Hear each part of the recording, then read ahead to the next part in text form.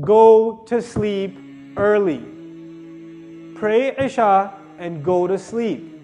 Don't go to the hookah joint until 12:30 a.m. Don't go see a movie. Don't go hang out with your friends. Don't watch Islamic lectures until 2 in the morning.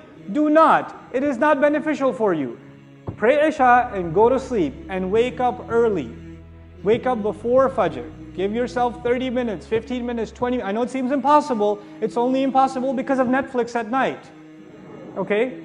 That's the only reason it's impossible. Give the nightlife up. Let the night be for sleep. At least you're not accumulating sin every night.